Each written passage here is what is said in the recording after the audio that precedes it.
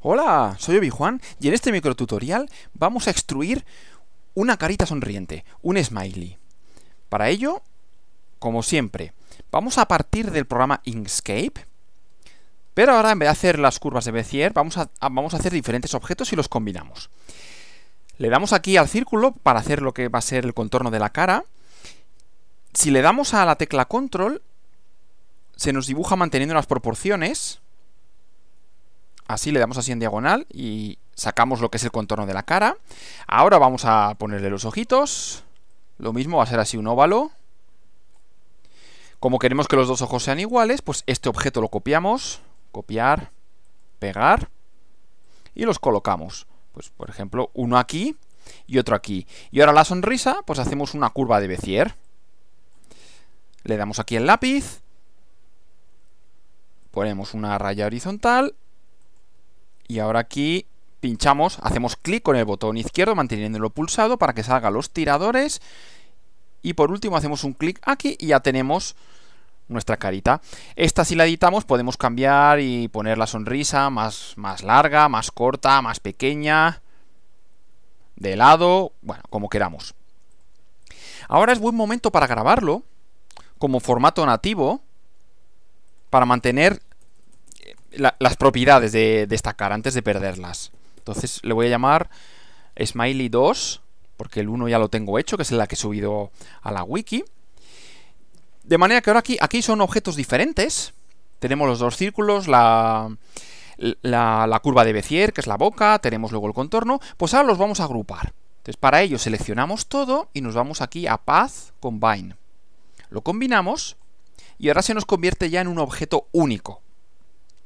Si le damos a editar los puntos, pues vemos todos los, todos los puntos que tiene, que en realidad son, son, lo ha convertido en curvas de Bezier. Y esto ya sabemos cómo convertirlo en un objeto con líneas rectas que lo podamos extruir. Seleccionamos todos los puntos, le damos aquí al más, y para que tenga una resolución buena, pues le vamos a dar unas cuantas veces. Así, por ejemplo, y ahora lo convertimos todo en líneas rectas. Ahí está. Pues ya tenemos nuestro objeto listo.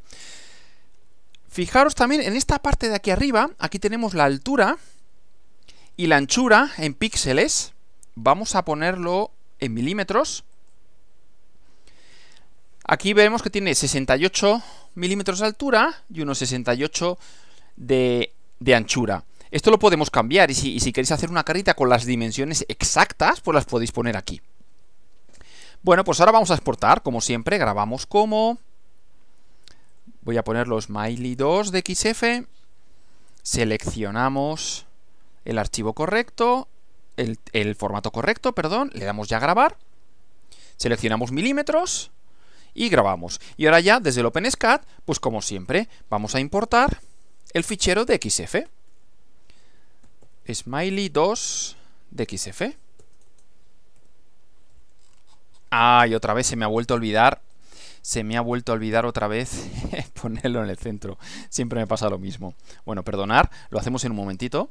Lo volvemos a, poner aquí en el centro. Lo volvemos a grabar. Lo grabamos como Smiley 2, el, el formato está correcto, grabamos, unidades correctas, ya está.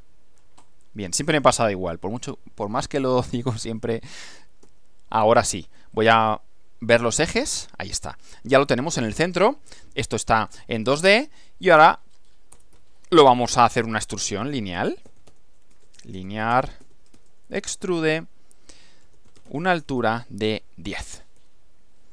Y aquí tenemos ya nuestra carita sonriente. Fijaros que como la ha extruido, y es que ha tomado esto como el contorno exterior y todo lo, todos los las curvas que había dentro las ha tomado como curvas que hay que restarle a la figura. Muchas veces esa resta la podemos hacer nosotros. Tú puedes tener un objeto y tú puedes extruir los DXFs de diferentes regiones y luego hacer la diferencia. Pero en este caso nos lo hace el OpenSCAD automáticamente. Ahora podéis dibujar cualquier tipo de objetos en 2D y convertirlo en tres dimensiones. Esto es todo desde Obi-Wan Academy. Que el OpenSCAD os acompañe.